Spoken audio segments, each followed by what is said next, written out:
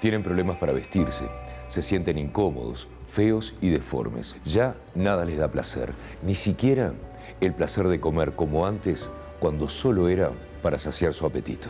El proceso de la obesidad empieza en el útero un ambiente obesógeno en el útero es el inicio. También los niños que tienen sobrepeso y obesidad son niños que faltan a la escuela, tienen más enfermedades, porque la obesidad predispone al niño a enfermedades crónicas no transmisibles, a padecer más cantidad de, de repente, hipertensión, diabetes, entonces todas esas cosas hacen que el niño también falte más a clase. Todo comienza en la infancia, con los primeros hábitos de alimentación, las comidas a deshora, la comida chatarra, el desorden.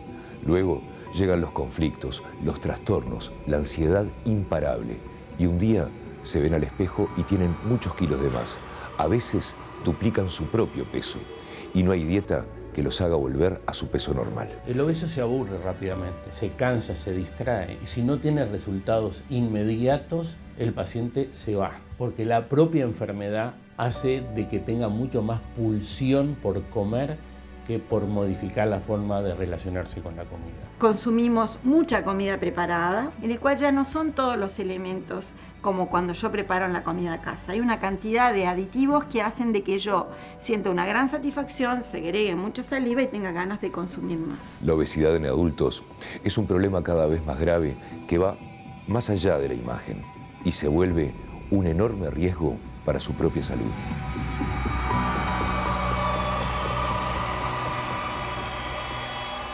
¿Qué es la obesidad?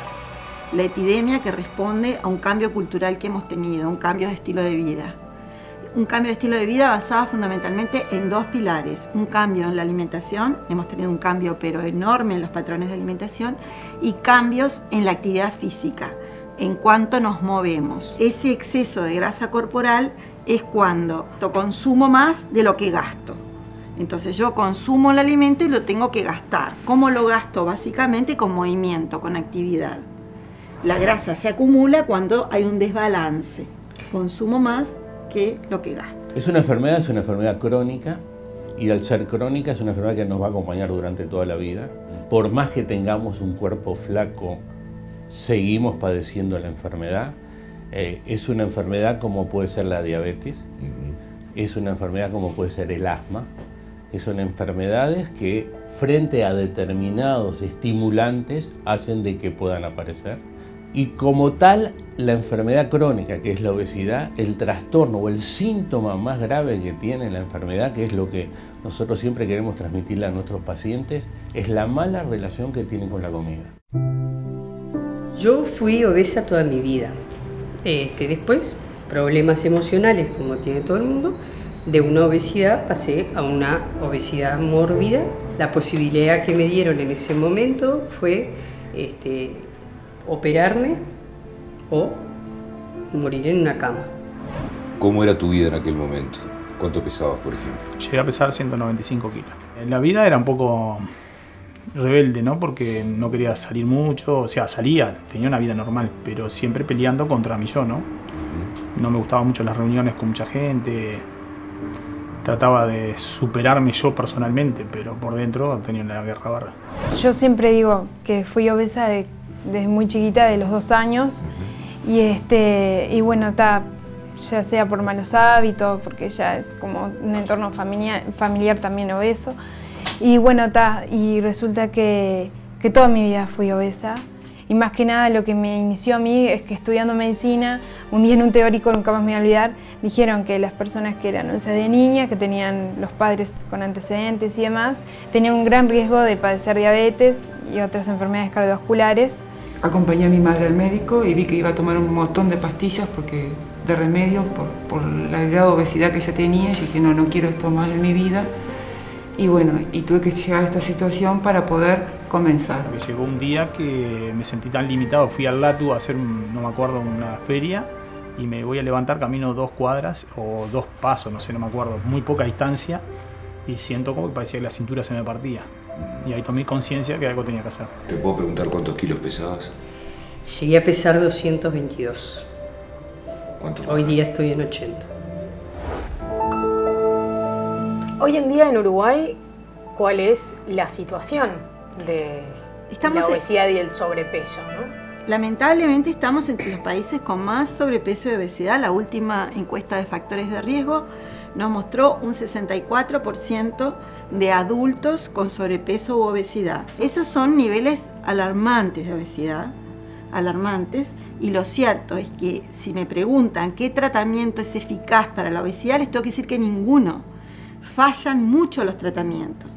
Lo único eficaz para la obesidad es prevenir la obesidad, y cuanto más temprano mejor.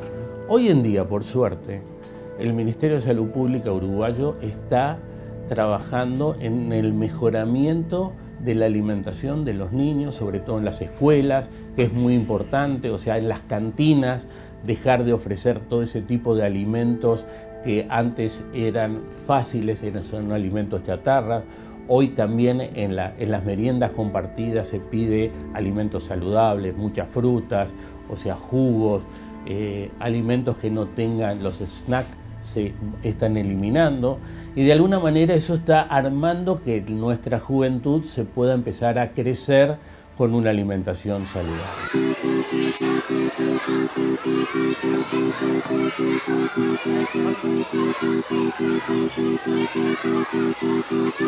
¿Cuáles son las tareas que tiene a cargo el programa que usted dirige? El programa de alimentación escolar este, llega a todo el país, en todas las escuelas, a través del aporte de toda la población del impuesto a primaria y se atienden aproximadamente 258.000 comensales a través de un equipo técnico de, de licenciadas en nutrición que está en Montevideo y a su vez una en cada departamento. Eh, se tratan de establecer líneas de trabajo y menú que puedan llegar a las escuelas y que sea una alimentación saludable acorde a lo que necesita un niño en crecimiento. Bueno, las escuelas de tiempo completo en este momento solucionan gran parte de la vida de las familias en cuanto a la alimentación, porque tenemos un menú semanal que elaboramos con la Economa y tratamos de que haya un equilibrio en todo lo que le brindamos a los niños. Acá los niños desayunan, almuerzan y meriendan. Los niños en la escuela pública que padecen sobrepeso y obesidad, ¿a qué se debe? ¿Qué tipo de alimentación es la que ingieren que los lleva a esa situación. El sedentarismo, o sea, la falta de actividad física es uno de los factores. Los cambios en la alimentación de, la sociedad actual es uno de los factores. La compra de alimentos procesados, de, ultraprocesados, este, el consumo elevado de azúcares, de grasas, de sal, el bajo consumo de fibra, o sea, el bajo consumo de frutas y verduras, son todos los factores que van a, están llevando a la población a tener estos índices tan preocupantes de sobrepeso y obesidad. Yo te contrapongo el pan contra las miles de galletitas que tenés en una góndola. Galletitas al agua, galletitas lo que sea. La densidad calórica y los componentes. El pan tiene harina, agua y levadura. Una gotita de aceite. Cualquier galletita que tú compres tiene un 25, un 30% de, de grasas o de aceite. Y muchas veces grasas de malísima calidad como son todas las rellenas y todo eso. Solo en un ejemplo que no cambia. Tomar un pedazo de pan o comer una galletita. No te estoy pidiendo un trabajo extra. El pan, revalorizar cosas que son mucho más naturales, tienen menos sal, tienen menos pan. Entonces tú dices un niño, ¿qué le doy de merienda? Le preparo un refuerzo de pan con queso o pan con, con, con jamón o lo que sea. Te digo eso. O compro la merienda con el relleno, que son grasas trans de la peor calidad que a un niño le estoy dando un 40% de grasas contra un 5, un 10. Una cosa simplísima te dije, como pan versus galletitas.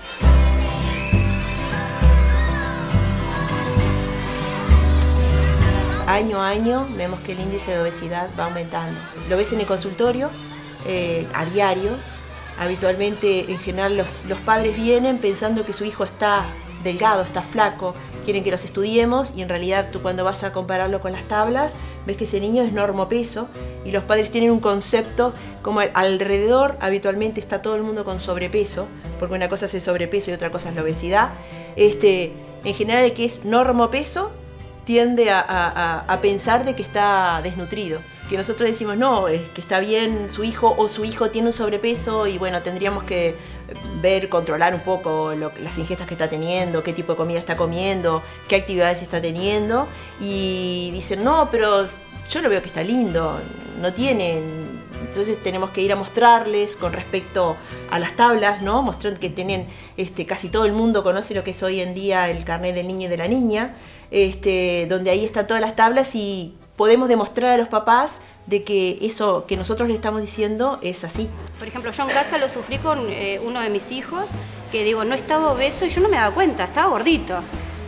Y cuando vamos a la pediatra dice, bueno, está, en fin, eh, bueno, acá los rollitos, pim pam pim, y para mí era un chiquilín bárbaro, o sea, dentro de lo normal uno lo ve a los niños gorditos y dice, mira qué pimpollo, ¿no? Y le agarra los cachetitos y dice, qué maravilloso. Y, y empezamos a como a prestar más atención a eso. Parecería que fuera como una obesidad inducida. De pronto muchas veces hasta por los propios padres. Obviamente que sí. Que le dan el gusto de comprarle el... Cuando abrimos nuestra clínica en el año 87, había una obesidad en niños y adolescentes de menos del 4%. Veintitantos años después, hoy la obesidad en niños y adolescentes puede llegar hasta el 20%. Es una cifra altísima. Eso tiene que ver con un trastorno alimenticio inducido de alguna manera. Exactamente. O sea, hay mucha presión publicitaria, hay mucha comida chatarra, hay mucha necesidad de salir a trabajar de los padres con poco tiempo para preparar la alimentación. Yo me acuerdo que mi madre estaba en mi casa esperando que venga la familia para comer. Hoy en día la señora trabaja a la par o más que la pareja y muchas veces el alimento de, los niños es un alimento rápido porque no hay tiempo, porque la vorágine del mundo nos lleva a que tengamos que salir apurados. Hoy en día eh, no hay, hay mucho más sedentarismo. Eh, hoy accedemos al mundo a través de una red de computación o con una pantalla en nuestro celular. Hoy en día los niños ya todos andan con un celular y acceden al mundo. ¿Cuáles son las consecuencias que puede tener a futuro en la vida del niño, el que después va a ser adolescente? Eh, la mala alimentación que se está recibiendo hoy en día que deriva en una obesidad. Lo que es la diabetes, la hipertensión arterial, todas cosas que eran de los grandes, ahora ya están empezando a aparecer en los adolescentes y en los niños. Si tú ya tenés antecedentes en tu familia de presión alta o de diabetes, ya desde el nacimiento tenemos que empezar a prevenir que eso suceda, ¿no? Entonces, bueno, una de las principales cosas es comer saludablemente. Y los niños sufren de obesidad porque tienen, tienen hipertensión, tienen este colesterol alto, bueno, en fin, un montón de complicaciones que antes no nos enterábamos como papás. Este, cuando nosotros éramos chicos, todos nosotros este, nos hacían esos controles. Y, ta, y teníamos enfermedades y bueno, ta, vaya a saber por qué era también, ¿no? Este, entonces está bueno que se, que se, que se incorpore y que se den cuenta eh, la mayoría de la gente que eh, el tema de salud viene por lo que comemos. Falta educación en la tú Vas a Europa, tú vas a Europa, te paras en una góndola y ves las tostadas, ves el pan y distintos tipos de pan integrales. No vas a ver el bombardeo que tienen nuestros países con miles de galletas, galletitas, alfajores, grasas de todo tipo y malísimas. No lo vas a ver eso, porque el consumidor está mucho más exigente y entonces no quiere ese tipo de productos. Entonces también hay un tema de cómo nos paramos cada uno de nosotros frente a los niños, por ejemplo. Le damos el paquetito de merienda que está relleno la mayoría de las veces con grasas trans, esos rellenos que ustedes ven blanditos, bueno, eso es grasa con un poco de gusto a chocolate o lo que sea. O le doy un pan con queso, te doy un ejemplo nada más. A veces si toda la familia tiene un sobrepeso, es difícil de que el niño no entre. hay ambientes que son obesógenos, le decimos nosotros, ¿no? Que ya para ellos es natural comer de esa forma y que todos tengan un sobrepeso, entonces a veces es más difícil este, hacerles notar de que eso no es, no es, sano. ¿Usted cree que los docentes, el cuerpo docente en las escuelas se ha plegado a, esta, a este concepto? Yo creo que sí, porque a través del programa, en los contenidos que debemos trabajar los docentes en las aulas, desde inicial a sexto, cuando culminan el ciclo escolar, el tema de salud y de alimentación saludable es recurrente. Los maestros trabajamos sobre ese tema y formamos un buen equipo en cuanto a ese a realizar este, carteleras buscando información, que los chicos vean qué es lo que favorece y lo que perjudica la salud. Viste que la obesidad y sobrepeso ya es algo que ha trascendido y estamos todos muy preocupados con ese tema porque realmente es un gran problema que está sufriendo toda la población mundial y la uruguaya no escapa a ese problema. Entonces sí, es una problemática que nos plantean y siempre nos están consultando y por suerte se están haciendo, buscando estrategias para tratar de revertir esa situación. Habitualmente los padres, ¿con qué lo mandan a los chicos a la escuela? Muy variado, pueden llevar jugos, pueden llevar refrescos, a veces llevan snacks, a veces llevan frutas, otras veces llevan refuerzos, eh, este, meriendas caseras, un trozo de torta, unas galletitas hechas en la casa, o sea que eso es muy variado. ¿Le ha pasado de tener que aconsejar a los padres? Sí, nosotros dentro de la tarea de licenciado en nutrición en primaria tenemos, hacemos talleres y tenemos encuentros con los padres, con todo lo que es la comunidad educativa, que son los padres, personal docente y no docente de la institución. Nosotros cuando hacemos la consulta del, del pediatra que vienen a su control, este, les preguntamos, ¿no? ¿Qué tipo de comidas comen? Porque a veces hay como una, como una falsa realidad en cuanto a lo que es la comida saludable y lo que no es la comida saludable. Por suerte ahora está el tema de las meriendas saludables, que está, eso fue hecho por, por, ley, por decreto, pero a veces eh, nosotros en la consulta tenemos que preguntarlo, afirmar de que ellos entiendan de que no es bueno que lleven un paquete de snack, de papas chips o una bebida refrescante que tiene mucho azúcar y que eso hace que no sea un alimento saludable. También que almuerzan, ¿no? porque a veces, aunque te parezca mentira, el almuerzo eh, llevan un alfajor o dos alfajores y eso no hubo tiempo o no hubo algo en los, colegios o en las escuelas que son doble horario y que no les brindan el alimento. A veces es eso. Eh, yo tengo una anécdota de un chico que llegó a la escuela y le dice a la directora, te doy el alfajor, guárdamelo porque no lo voy a comer en la escuela. La directora guardó en su bolsillo el alfajor mientras él estuvo en la escuela.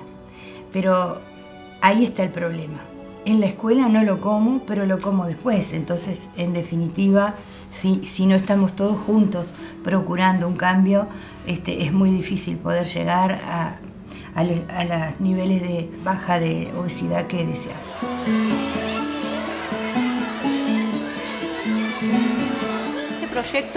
Es todo un gran proyecto que abarca a todos los adultos que estamos con los niños. No solamente las chiquilinas que elaboran lo que las nutricionistas nos dicen, sino también las maestras, este, los directores y también los padres.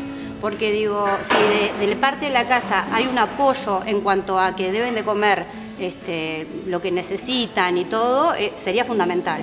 ¿Y qué pasa a nivel de hogar? Porque muchas veces, digo, estamos viviendo en una, en una época en la que sí tienen suerte, ambos padres trabajan, ¿verdad? Entonces llega toda la familia, promedio 8 de la noche a la casa y a veces no hay voluntad de cocinar. Sí, eso es verdad. Hay que buscarle la vuelta porque esto es nuestra salud y nuestro futuro, el futuro de nuestros hijos, ¿no? De nuestro, es el futuro de nuestra sociedad. Parte de, nuestra vida tiene que ser la alimentación. Ahora, usted hablaba de la prevención, todo esto forma parte de la prevención. Ahora, lo cierto es que Uruguay tiene un panorama de personas con sobrepeso y obesidad bien importante, como decía usted. Ahora, ¿qué se hace con esas personas que sufren de esta enfermedad? En términos de políticas, lo más importante es detener esta epidemia. Lo que tiene que saber la población es que el único tratamiento eficaz para la obesidad es la prevención.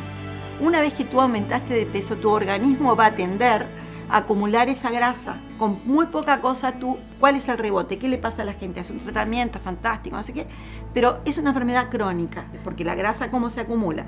Hay etapas que se multiplican la cantidad de depósitos y hay otras etapas en las cuales el adipocito se llena de grasa se vacía, pero tiende nuevamente a llenarse. Con muy pocas calorías tiende a llenarse. Entonces, si tú fuiste gordo, tenés que saber que tenés que cambiar el estilo de vida absolutamente. Tenés que caminar, tenés que moverte, tenés que hacer actividad física y comer menos que otra persona que no fue gorda. Es una enfermedad crónica.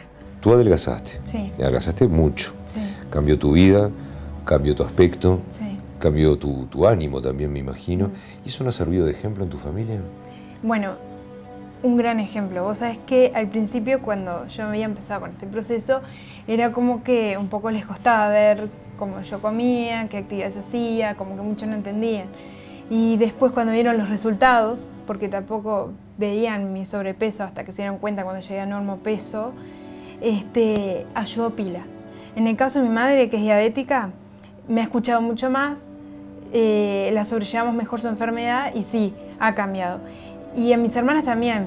Es más, una de mis hermanas con simplemente charlas, y bueno, ella también está muy informada, pero digo, eh, con charlas, bueno, y autoestimularnos, va bajando 25 kilos. Así que viene o más. Viene bien. Si no, eh, a lo que es mi entorno ayudo pila, pila. Pero sí este acostado, ¿no? Muchas personas dicen, qué cambiada que estás.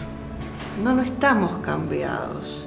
Eh, empieza a florecer, a nacer aquello que estaba eh, oculto detrás de la grasa. Porque la grasa... Por uno mismo. Oculto por uno mismo. Entonces tú eh, entraste a cambiar el envase, pero mejoró tu organismo interno, en tu cabeza, que piensa de otra manera, en que los problemas están, pero que los ves a través de otro vidrio, eh, entras a mejorar la calidad de vida de la gente que está a tu alrededor, porque no solo yo me alimento mejor, estoy enseñando a los que están a mi alrededor a alimentarse en forma más ordenada o con mejores alimentos. El paciente que una vez que empieza a adelgazar se motiva, se siente con ganas, aumenta la autoestima, ve que la ropa le queda mucho mejor, o sea, tiene el aplauso de los amigos y externos, que bien que te ves, etcétera, etcétera. Y eso lo lleva a poder hacer rápidamente todo el proceso del adelgazamiento. ¿Cuánto es más o menos el proceso del adelgazamiento para que se tenga una idea? Que es lo que primero pregunta la gente. ¿Cuánto tiempo voy a llevar para adelgazar y tener un cuerpo flaco?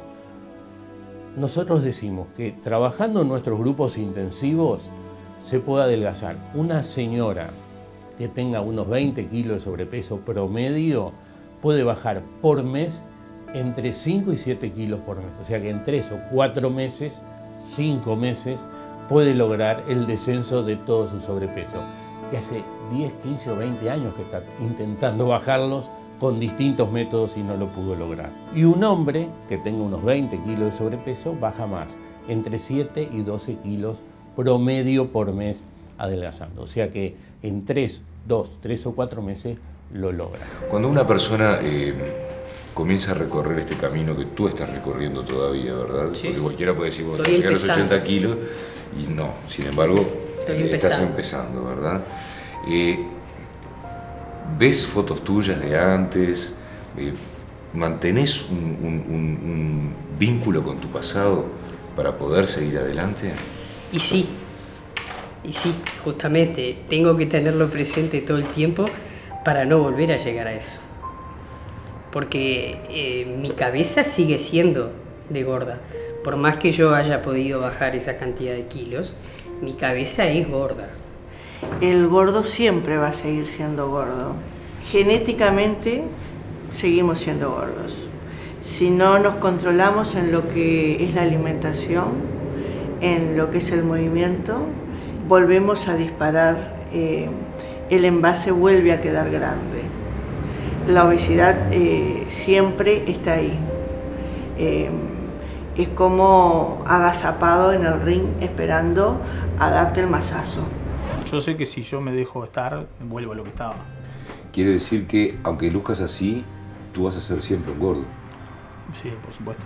Yo eso lo creo porque digo, si bien yo que sé, yo he perdido hábitos, ¿no? Uno tiene que cambiar los hábitos. Lo más importante es cambiar los hábitos. Y era mucho lo que quería era la comida chatarra. Entraba a un carro de pancho y comía. Yo hoy por hoy no los registro. O sea, hace años ya que no, yo voy a un shopping, por ejemplo, y de repente pasás por la plaza de comida ni me entero. O sea, no es que yo me lo niegue, ya no, no pasa a ser parte importante de mi vida. Una persona como tú o como tú logra cosas como la que me contabas, que pensabas que nu- nunca ibas a poder lograr, tiene que haber un rinconcito de la mente que le dice, ahora te mereces un premio. Y un premio puede ser decir, me voy a dar un gustazo. ¿Está permitido eso? Está permitido. A mí me gustaba la milanesa con papas fritas y huevo frito, entonces el martes, antes de ir al grupo, ya me compraba todo eso, eh, iba al grupo, me pesaba, eh, bajaba de peso, eh, venía y me comía la milanesa con el huevo frito y la papa frita, y eh, ya el miércoles arrancaba de vuelta el plan. Entonces, como había explicó, como explicó Nelly, uno se saca las ganas de comer lo que realmente le gusta, y bueno, y ya empieza de vuelta la semana a trabajar en, en la recuperación. Nosotros no nos vamos a privar de nada. Y las chicas saben, este, me, han, me han escuchado mil veces, que yo hice toda mi bajada comiendo bizcochos. Porque yo era una adicta a los bizcochos, pero me comía un kilo.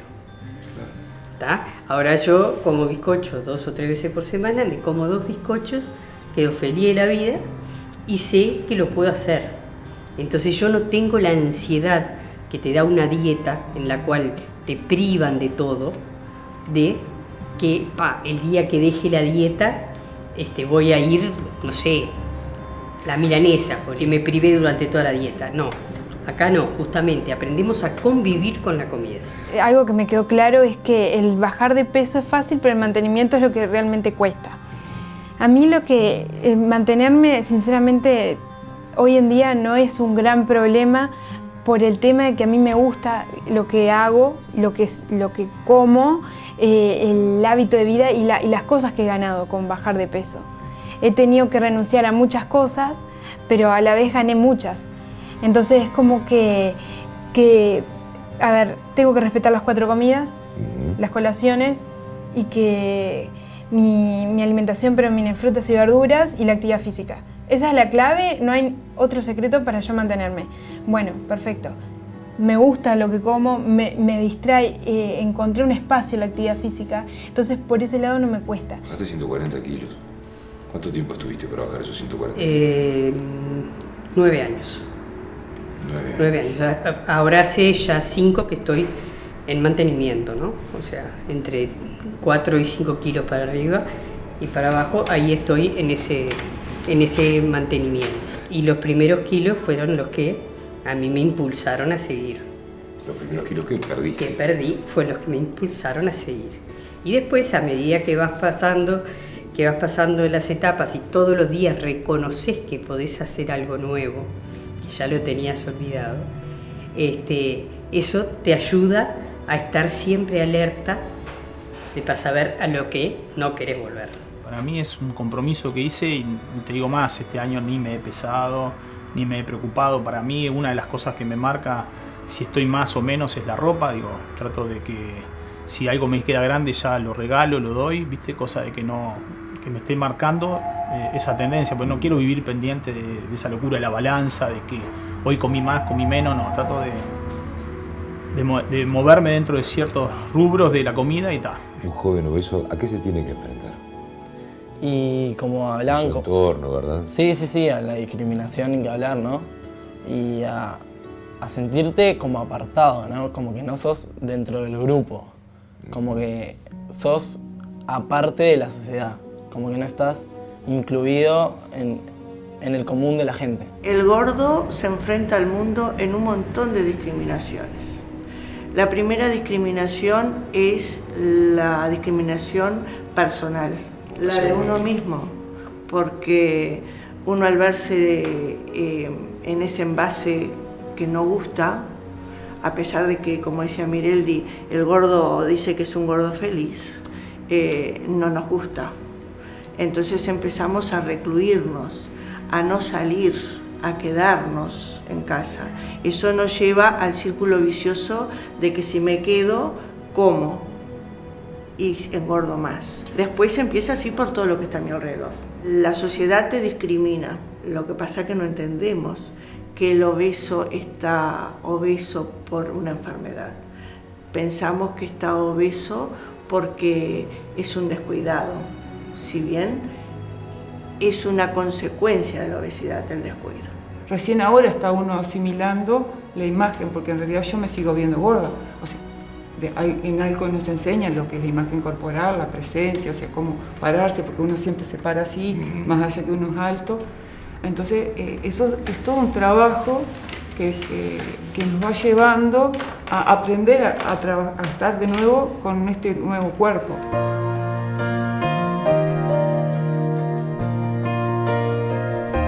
¿Cómo viene la persona que viene a comprar ropa acá, verdad? Es una persona que de pronto puede estar acomplejada por su figura, ¿verdad? ¿Cómo se la trata esa persona? Cuando llegan a este local ya es porque se han recorrido todo el centro, todos los shopping. Por lo general ya cuando viene acá viene como bastante triste, amargada, bastante eh, defraudada. O sea, yo la puedo entender porque si voy a otro local estándar me cuesta conseguir ropa para mí. Recién me hablaban de una línea de borde, ¿verdad? Este, lo que tiene que ver con talles. ¿Cuál es el más chico dentro de los talles grandes?